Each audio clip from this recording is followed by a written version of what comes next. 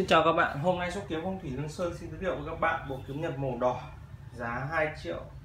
Đó là bộ kiếm nhật mới mà shop có những cải tiến mới so với bộ kiếm nhật màu đỏ cũ. Thì đối với bộ kiếm nhật màu đỏ này thì nó có những cái điểm cải tiến nào?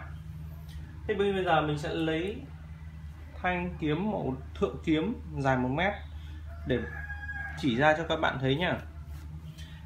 Thứ nhất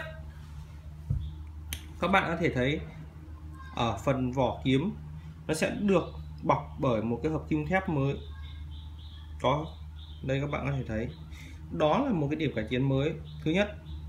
Thứ hai là phần chuôi kiếm cũng có một cái đầu bọc bằng hợp kim thép hình rồng. Thứ ba, ở trong lưỡi kiếm có một cái gờ được bọc để giúp cho tăng độ khít bám giữa vỏ kiếm và lưỡi kiếm thì nó sẽ giúp khiến cho so với bộ cũ bộ cũ nó thường nếu mà không có cải tiến mới này nó giữa vỏ kiếm và lưỡi kiếm nó có sự lỏng lẻo. Và khi vận chạm khi đi vào nhau thì nó có, khi khi có cái va đập thì nó sẽ có tiếng động. Nó khá là khó chịu. Thế thì đối với cái cải tiến lần này nó sẽ giúp cho cái độ khít và bám nó tốt hơn. Nó rất là chắc chắn. Đó. Các bạn khi mà các bạn nhận được thì các bạn sẽ cảm nhận được thì đấy là cái cải tiến mới, ba cải tiến mới trong bộ kính nhật lần này. Thì đối với bên trong lưỡi, thì lưỡi kiếm nó không có cái gì thay đổi nhiều cả. Lưỡi nó vẫn gần như vậy. Lưỡi kiếm vẫn được làm bằng thép carbon, là một loại chất liệu chống dỉ và rất là cứng. Lưỡi kiếm nó dày khoảng 1 mm và nó tương đương với cái con dao củ nhà bạn và nó không có khả năng gây sát thương.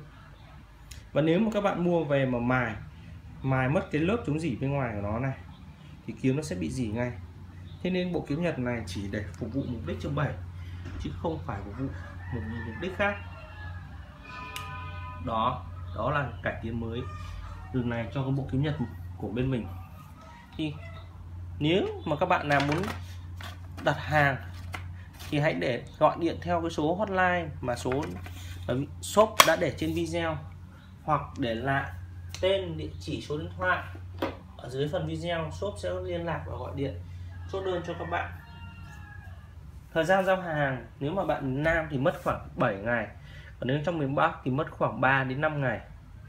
Đó, ok. Đó là những cái thông tin để mà các bạn có thể đặt hàng. Xin chào và hẹn gặp lại các bạn trong các video lần sau.